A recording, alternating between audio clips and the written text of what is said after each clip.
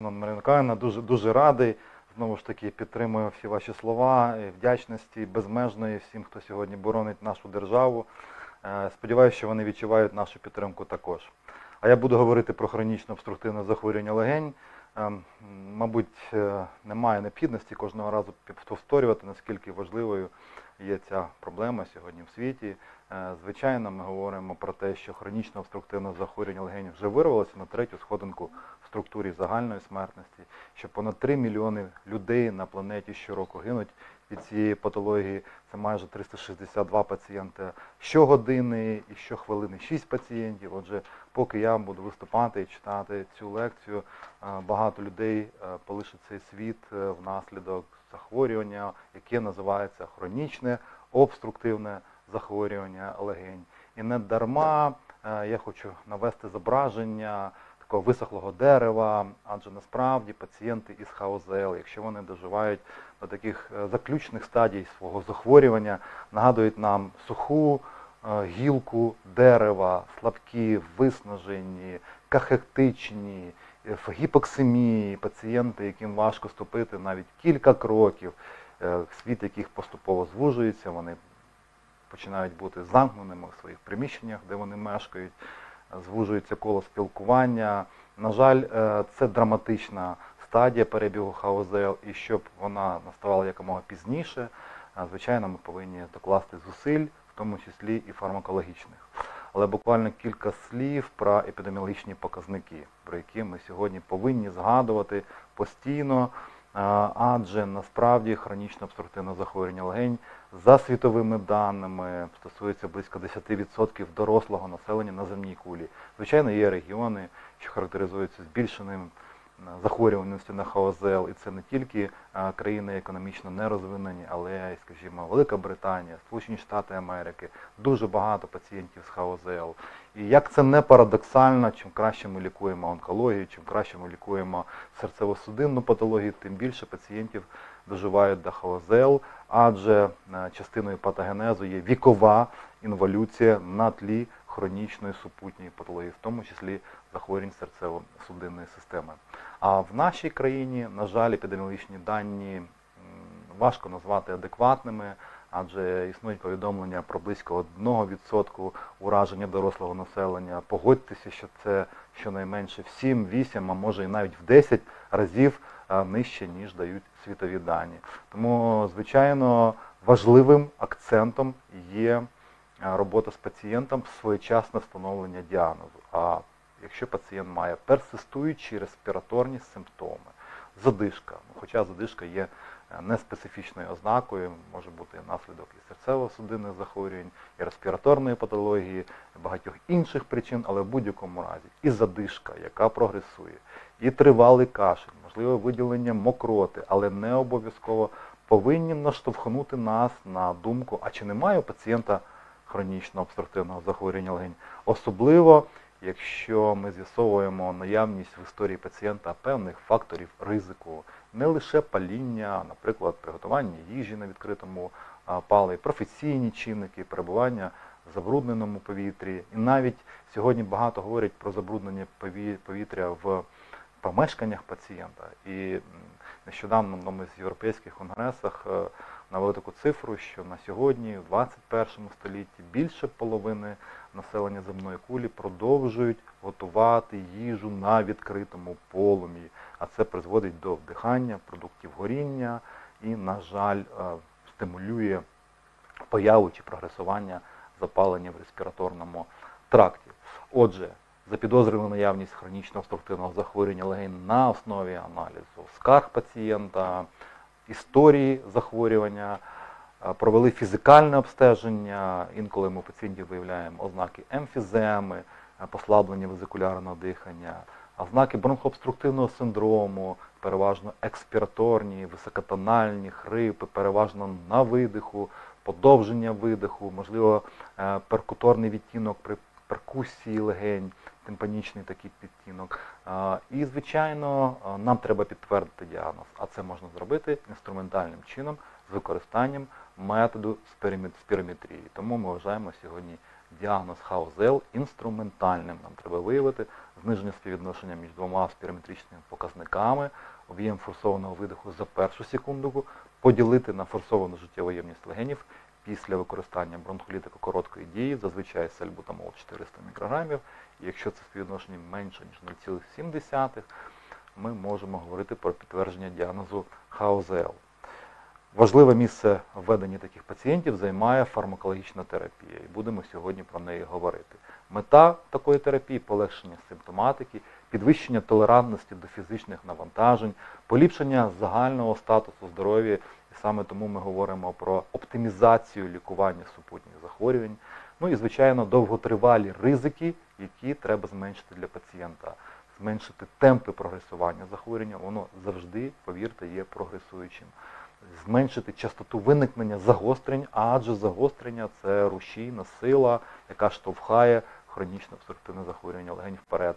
Ну і, звичайно, знизити смертність, адже з смертності ми починали. І якщо ХОЗЛ сьогодні на третій сходинці, може бути так, що через 5, може 10 років ХОЗЛ просунеться вже на другу сходинку в структурі загальної смертності. В будь-якому разі, для того, щоб призначити адекватну терапію, використанням фармакологічних методів. Ми віддаємо сьогодні перевагу інгаляційним способом доставки ліків е, в організм пацієнта із ХОЗЛ. Треба визначити клінічну групу. Спочатку ми визначаємо, чи є у пацієнта загострення впродовж попередніх 12 місяців. Наприклад, одне загострення із госпіталізацією, або щонайменше два загострення середньої ступені тяжкості, коли, як правило, призначається антибіотик, системний кортикостероїд, інколи щось одне, інколи в комбінації. Отже, такий пацієнт е, має високі ризики виникнення загострень у майбутньому, і цей пацієнт повинен належати до клінічної групи І від англійського слова exacerbation, тобто загострення. Далі ми визначаємося із симптоматикою пацієнта, який має менше, ніж два середні тяжких або менше одного загострення з госпіталізацією. І якщо е, застосовуючи опитувальник е, ТОХ, тест оцінки ХОЗЛ або CAT, англійською номенклатурою COPD Assessment Test, ми бачимо менше, ніж 10 балів, і оцінюємо за шкалою, модифікованою шкалою дослідницької ради MMRC, і бачимо, що пацієнт має або 2 бали, або навіть більше, значить пацієнт є симптоматичним, він буде належати в клінічну групу B. Ну, всі інші, решта пацієнтів будуть належати в клінічну групу A. Насправді, в більшості випадків е, домінують пацієнти, які належать до клінічної групи е, І. На другому місці зазвичай в більшості регіонів видають пацієнти клінічної групи Б, а клінічна група А, погодьтеся, таких пацієнтів, які мають мало симптомів, у немає загострень, на, вони рідко потрапляють в поле зору клініцистів. Можливо, якщо ми будемо проводити скринінгові обстеження, то будемо бачити більше таких пацієнтів. В клінічній групі A алгоритми призначення стартової терапії передбачають застосування бронхолітиків. Бронхолітиків переважно тривалої дії, адже вони мають е, серйозні позитивні ефекти порівняно з бронхолітиками короткої дії. Е, дуже часто пацієнти зловживають бронхолітиками короткої дії, це може призвести до тахікардії, порушень серцевого ритму, гіпокаліємії, багатьох інших ускладнень. Тому тривалодіючі бронходилататори є препаратами вибору. І профіль безпеки в них кращий, і бронхолітичний ефект тривалий і забезпечує кращий контроль над захворюванням. В клінічній групі B, як правило, лікування починається із комбінації два інгаляційних бронходилататори. Це е, мускориновий антагоніст 3, е, е, холінолітики тривалої дії, так званої, і бета-2 агоніст тривалої дії. Отже, комбінація бажана в одному доставковому пристрої, оптимальний вибір для даної групи.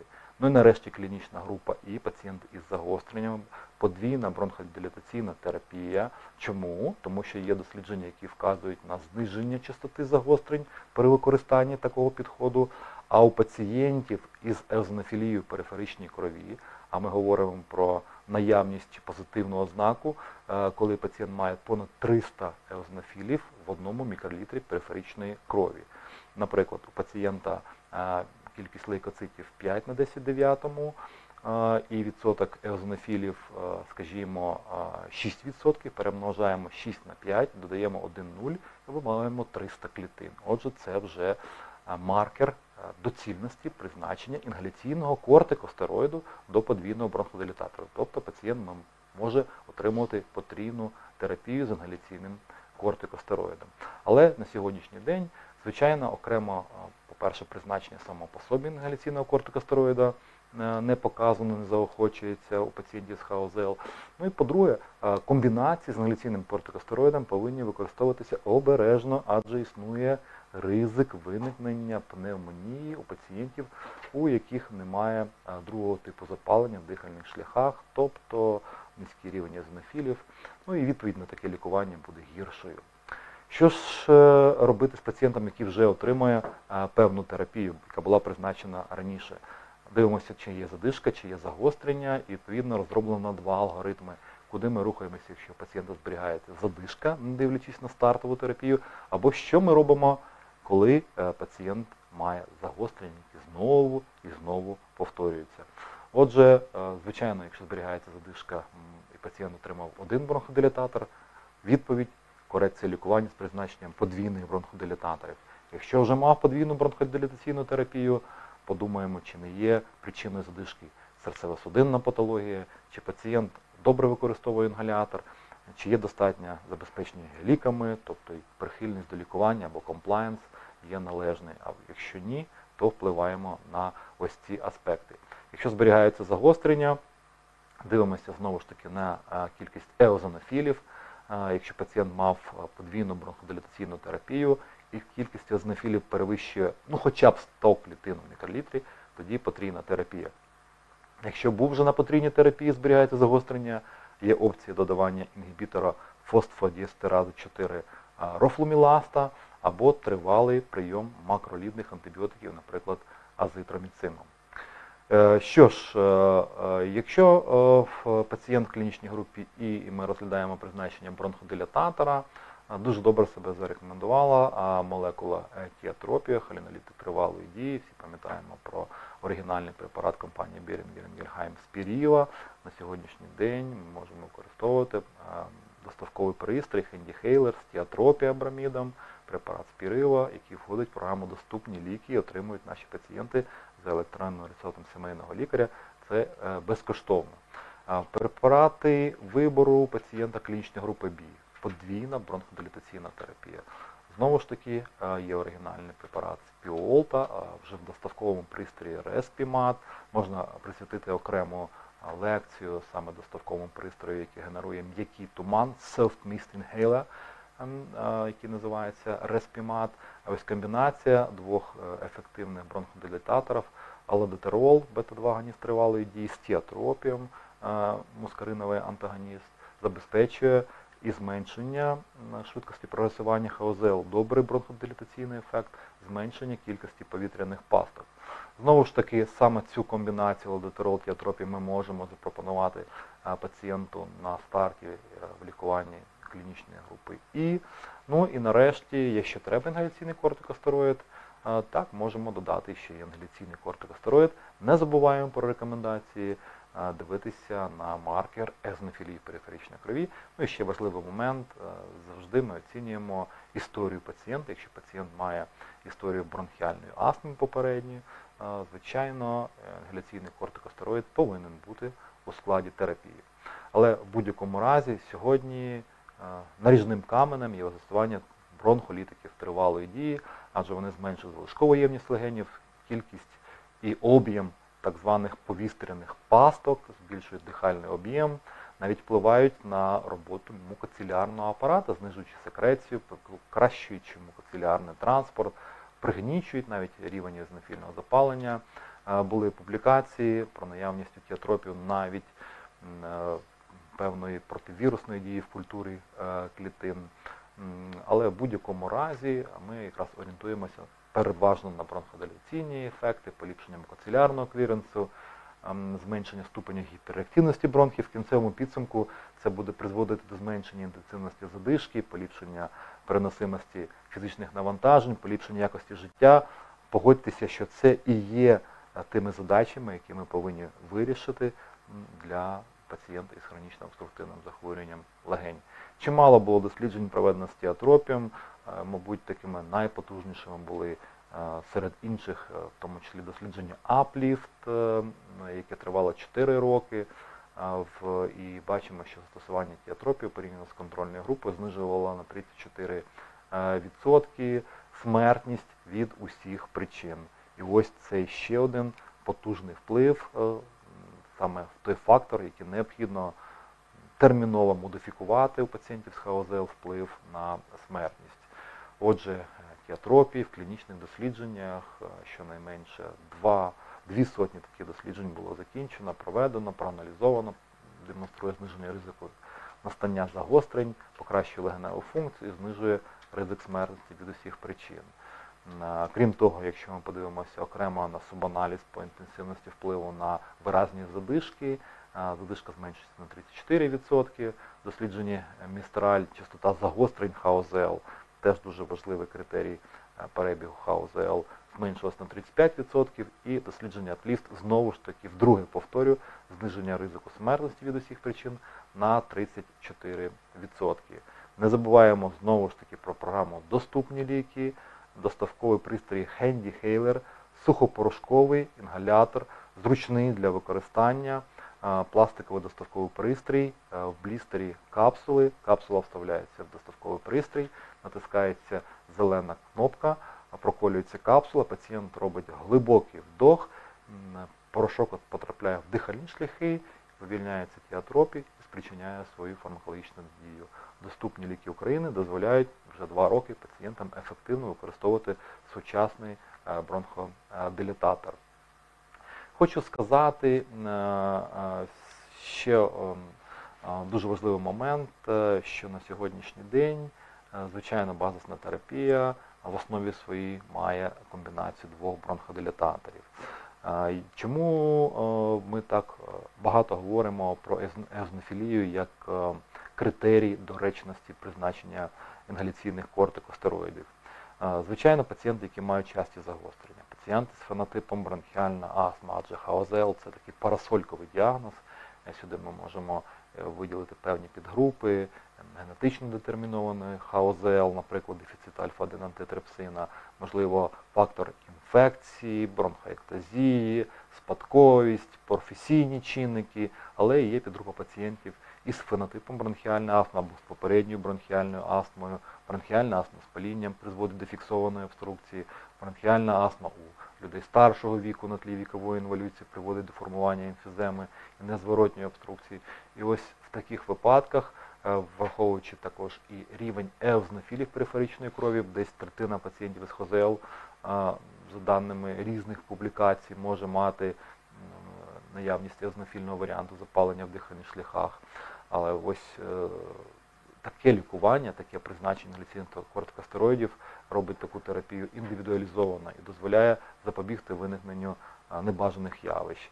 Звичайно, інгаляційна терапія характеризується низькою біодоступністю, але тим не менше певна кількість інгаляційного кортикостероїда може потрапляти в системний кровообіг, призводячи до збільшення ризику виникнення пневмонії, виникнення мікобактеріозів, в тому числі туберкульозу легень, порушення вуглеводного обміну, виникнення остеопорозу і локальних е, місцевих повічних явищ, наприклад, кандидозу стазової оболонки і осиплості голосу. Кандидоз ми бачимо вкрай рідко, але такі пацієнти бувають, в тому числі в нашій практиці, я таких бачив. Хочу сказати, е, що і е, ось цьому аспекту безпеці використання інгаляційних кортикостероїдів приділялася значна увага дослідників в одному. Із таких досліджень це бачите перед собою субаналіз дослідження віздом. Е, якраз е, дивилися, який відсоток пацієнтів серед популяції, яка брала участь у даному дослідженні, відповідала всім трьом критеріям призначення інгаляційного кортикостероїду, тобто тяжкий або вкрай тяжкий перебіг, щонайменше два загострення впродовж одного року і понад 300 езонофілів периферичних крові в одному мікролітрі. І виявилося, що лише 7% популяції ХАУЗЛ, які брали участь в цьому проєкті, відповідали всім трьом критеріям одночасно. Для нас дуже цікаво, як впровадження нових рекомендацій, корекція нашого лікування, проведення лікування згідно міжнародних стандартів буде впливати на витрати в системі охорони здоров'я. Теж цікаве дослідження, Сполучені Штати Америки, Швеція, Німеччина, Бельгія, економічно розвинені країни з потужними економіками, впровадження ем, ось нових алгоритмів призначення інгаляційних кортикостероїдів пацієнтів з ХОЗЛ обережно з наявністю маркера езнофілія в периферичній крові призводить до зменшення, передусім виникнення інфекцій нижніх дихальних шляхів, наприклад, негоспітальної пневмонії, і це зменшує е, кількість витрат системі охорони здоров'я. Суттєва перевага ось такого індивідуалізованого таргетного призначення е, комбінованого лікування призводить до зменшення витрат системі охорони здоров'я. Інгаляційні ліки можуть бути ефективними лише тоді, коли вони досягають зони ураження для хронічного обструктивного захворювання легень. Саме рівнем виникнення патології є бронхіоли, тобто бронхи е, від 14-го ген, ем, від 14 генерації е, і нижче. І саме тому важливу роль тут якраз відіграють доставкові пристрої, які повинні забезпечити саме адекватне е, потрапляння е, інгаляційної речовини до е, зони ураження бронхів. Звичайно, ось такий показник легеневої депозиції є ключовим в оцінці ефективності доставкового пристрою. Ну і існує ось така е, чітка закономірність між е, інтенсивним вдохом, е, інспіраторним зусиллям, які здатний роздавати пацієнт при вдосі, е, плюс правильне застосування інгаляційно доставкового пристрою, що повинно е, забезпечити якраз оптимальну легеневу депозицію. Крім інспіраторного зусилля або максимально інспіраторного потоку, дуже важливий є розмір е, часток е, аерозолю, е, які генеруються або аерозольним інгалятором, або сухопорошковим інгалятором. Оптимальним є діаметр часток від 1 до 5 мікрометрів, оскільки якщо ми отримаємо більш великі частинки, вони будуть відкладатися в ротоглотці, більш маленькі частинки будуть видихатися назовні. І якраз техніка інгаляції, доставковий пристрій, прихильність до терапії будуть забезпечувати оптимальну депозицію. Ну і звичайно, не всі сухопорошкові інгалятори, якщо їх використовують пацієнти із е, слабкими респіраторними м'язами, як це буває у пацієнтів з ХОЗЛ, здатні глибоко сильно вдихати, забезпечуючи 60 м, е, літрів на е, хвилину потік е, повітря для того, щоб відбулася дезінтеграція е, часток інгалятору, щоб е, активна речовина ефективно відділялася від пропеленту і потрапляла в зону е, ураження. Ну, е, знову ж таки, е, цей критерій 60 літрів на хвилину є важливим, е, і частина пацієнтів, які не здатні розвинути подібне інспіраторне зусилля, знаходяться в зоні ризику щодо неефективного лікування. Доставковий пристрій е, Handy Hailer, з яким ми використовуємо препарат спірива, якраз е, працює, навіть якщо пацієнт може розвинути лише інспіраторне зусилля на рівні 30 літрів на хвилину. Е, Крім того, простота використання, звичайно, вражає і є клінічні дослідження, які демонструють, що більше 70% пацієнтів е, е, здатні з першої спроби ефективно використовувати цей доставковий пристрій, а значить, е, буде належна депозиція, а значить, буде ефективне лікування. Також серед основних принципів, якими ми керуємося, коли призначаємо той чи інший доставковий пристрій, окрім простоти, окрім вартості, доступності для пацієнта, є така важлива обставина, щоб максимальна кількість молекул доставлялася з використанням лише одного